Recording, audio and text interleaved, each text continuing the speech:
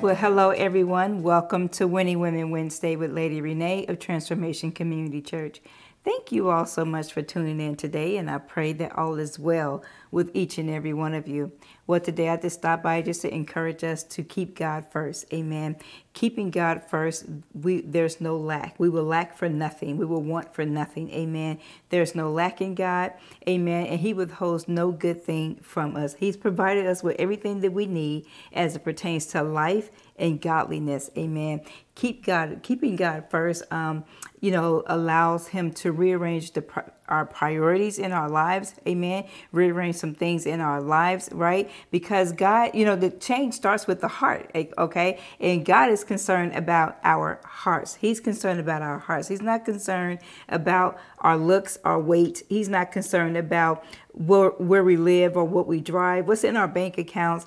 He's not concerned about what we give, how we dress, um, our education, how many degrees that we have, or the lack thereof. He's not concerned about any of those things. Amen. God is concerned about our hearts. He wants us to give him the throne of our hearts. Amen. And he will change our desires, right? He will change our desires. And by us giving him the throne of our hearts, enable um, you know, it, it, enables us to truly be satisfied in our Lord and Savior Jesus Christ. Okay, so take a moment and think about what's really important, right? You know, in the in the big grand in the the big scheme of things, um, everything on this earth will pass away. Amen. Everything on this earth is temporary, right? None of it is going to last, but God's kingdom, God's love, God's faithfulness will never change. Amen. He is the only one that is worthy of our devotion. He is the only one that we should have our focus on. Amen. We should keep our eyes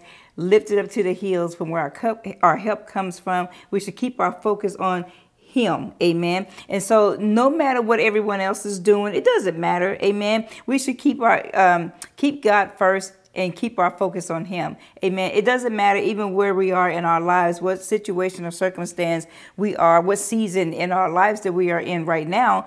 Um, we just need to keep God first and trust him. Amen. Because again, the treasures of this earth are passing away. Okay.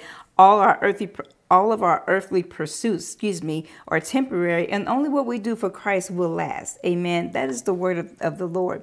So let's keep God first and let's store up our treasures in heaven. Amen. Um, where nothing will be destroyed. Amen. Because the Bible tells us, you know, that we are to seek God's kingdom first, and everything else will be added unto us anyway. It's about keeping having our priorities together. Amen. And so, um, you know, God is Jehovah Jireh.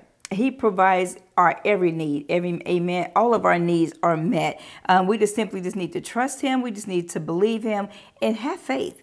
We just need to have faith, right? We walk by faith and not by sight, amen. Um, because you know we ourselves are blind, right? If you will. Um, the Bible said, "I once was blind, but now I see," amen. And because um, in faith is our vision. Again, walk by faith and not by sight. Okay, so faith is our vision, right? And um, it's not our will, it's God's will. It's His will, plan, and purpose for our lives. Amen. Faith is letting go and letting God. Let God be God, and we just get out the way. Amen. That's having faith. You know, uh, trusting and believing Him to do exactly what He said that He would do. Right. Faith is casting all of our cares, all of our burdens onto our Lord and, and Savior Jesus Christ. All of our doubts, fears, anxieties, um, our situation, our circumstances, whatever it may be, our insecurities, whatever it may be, cast it all unto the Lord. He said we can cast all of our cares unto him. He said, listen, he said that his yoke is easy and his burdens are light. Amen. So we need to learn from him. Okay. Faith is the substance of things hoped for and the evidence of things not seen. Okay. Faith, um, it comes in the release, right? So when we release all those things to the Lord, when we cast all those things to the Lord, right? That's having faith, right? But if we're if we're um, holding on to those things, we want to um, take care of it ourselves, right? We don't want to get out of the way, amen. When we when we just don't want to relinquish it unto God, God can't intervene. He can't do anything with that if we don't release it to Him, if we don't give it to Him, if we don't cast it to Him. Amen. So, um, releasing it all to God. Give it all to the Lord. Take it all to the Lord in prayer and laying it all down at His feet. Amen. Uh, so we release all things to God. And when we, we do that, we're showing that we trust Him, that we believe in Him. And then not only that, we are releasing our faith in Him. Amen. So listen to next time, know that I love you, but God loves you so much more.